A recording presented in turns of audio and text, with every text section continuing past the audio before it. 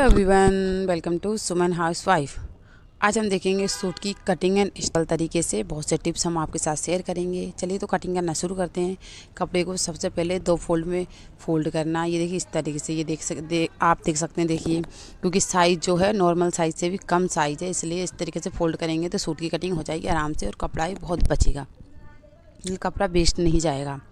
इस तरीके से कपड़े को फोल्ड करके रख लेंगे, अच्छे से सारे चलबटे हटा देंगे। इस साइड बंद और इस साइड खुला है कपड़ा, ये देख आप देख सकते हैं। ये ये देखिए, अब इंची टेप लेंगे और इस तरीके से देखिए, तीन इंच पर मार्किंग करेंगे। ये ये देखिए, ये है नीचे का किनारा जो फोल्ड करने के लिए मार्जिन ले रहे हैं हम। अब तीन इंच पर मार्किंग हो गई। अब जितने सूट की लंबाई है, उतनी लंबाई हम रख लेंगे।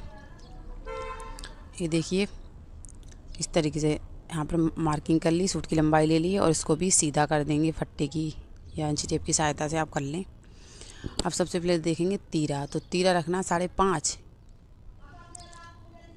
और आर मूल भी रखेंगे साढ़े पाँच और यहाँ पर इस तरीके से मार्किंग कर देंगे। ए, ये देखिए, हो गई मार्किंग अब इंची टेप लेंगे, ऊपर रखा है साढ़े पाँच और नीचे रखेंगे पाँच इंच।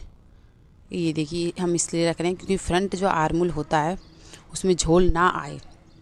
बैक आरमूल के लिए हम अभी आपको टिप दिखाएँगे कि किस तरीके से मार्किंग करनी है। आध इंच पर मार्किंग करने के बाद गोलाई दे देंगे आरमूल में। अब देखेंगे चेस्ट, जितना आपका चेस्ट फिक्स नाप लेंगे आप चेस्ट का। जैसे हमारा फिक्स नाप है इकतीस इकतीस में तीन इंच प्लस कर लेना है। इकतीस, बत्तीस, तैंतीस, चौंतीस हो जाएगा। अब चौंतीस का आधा करेंगे तो हो जाएगा सत्रह और सत्रह का आधा करेंगे तो आएगा साढ़े आठ। आप इंची टेप मोड़ कर इस तरीके से मैजन कर सकते हैं, देखिए। साढ़े आठ पर मार्किंग कर दी। हिप पर करेंगे चौदह इंच पर मार्किंग और कमर पर करेंगे सात इंच पर मार्किंग ये ये देखिए, इस तरीके से। तीनों मार्किंग हो गई। अब जिस तरीके जैसे चेस्ट का मार्जिन निकाला है चेस्ट का मतलब चेस्ट का मेज़रमेंट निकाला है, उसी मेज़रमेंट से कमर और हिप का मेज़रमेंट निकालेंगे सेम तरीके से। उस तरीके से देखिए मार्किंग कर देंगे। हिप पर निशान लगाया साढ़े आठ पर और कमर पर निशान लगाया हमने साढ़े सात पर। अब नीचे आएँगे, नीचे पल्ले देखते हैं कितने चौड़े रखने हैं। हम लगा रहे हैं नौ इंच पर मार्किंग। और इस तरीके से देखिए, निशान लगा देंगे पल्लों पर। और दो दो इंच मार्जिन के लिए ले लेंगे। देखिए इस तरीके से। पूरा फिक्स कपड़ा आ गया है और इस पर कपड़े पर कटिंग कर देंगे। अब देखें, अब देखते हैं आरमूल।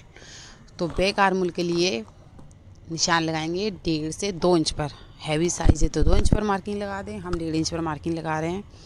इस तरीके से गोलाई दे देंगे। तो अब ड्राफिंग हो गई है सूट की, अब इस पर कर देंगे कटिंग। देखिए, डेढ़ इंच पर मार्किंग की थी की थी, उस पर कटिंग करनी है। इस तरीके से आराम से कटिंग कर देंगे। तो कितनी आसानी से सूट की कटिंग हो गई और मेज़रमेंट भी, आई होप आपको समझ आया होगा। ये देखिए तो सूट की कटिंग हो गई है।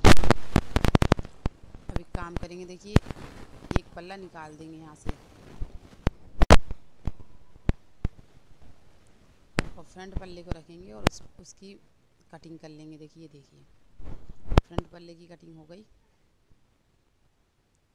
ये ये देखिए। और अब देखेंगे स्लिप कटिंग। तो दो पार्ट में देखिए कपड़ा पहले हम दो पार्ट में रखेंगे इसको फिर फोल्ड कर लेंगे तो हो जाएँगे कपड़े के चार फोल्ड। इस तरीके से सीधा कर लेंगे। दो इंच पर मार्किंग करेंगे और जितनी आपकी स्लिप की लंबाई है, उस पर लंबाई पर मार्किंग कर लें। हम सत्रह इंच पर मार्किंग करेंगे। और इस तरीके से ये देखिए, फिर मार्किंग करेंगे। और यहाँ से इंच टेप रखें, इंच टेप रखेंगे। ये देखिए, चाहिए साढ़े सात इंच हमें चाहिए और इसमें डेढ़ इंच प्लस करेंगे तो हो जाएगा साढ़े आठ। इसको सीधा कर लेंगे। ये देखिए इस तरीके से ये चौकोर डब्बा बन गया। आराम से आपको समझ आ रहा होगा। अब साइड से कॉर्नर में तीन इंच पर मार्किंग करेंगे, ये देखिए इस तरीके से। और बाजू की गोलाई जितनी है आपकी, उसमें डेढ़ इंच प्लस करके गोलाई पर निशान लगा दें। सेब पट्टी की सहायता ऐसी कटिंग कर लेते हैं तो बहुत अच्छी फिनिशिंग आती है और फिटिंग भी अच्छी आती है। और इस तरीके से देखिए, गोलाई दे देंगे आर मूल में स्लिप की आर मूल में गोलाई इस तरीके से देनी है। और इसी पर कर लेंगे कटिंग ये देखिए। तो स्लिप की कटिंग हो चुकी है। अब इसके आरमूल की भी छटिंग कर लेते हैं। फ्रंट साइड की इसको इस तरीके से खोलेंगे।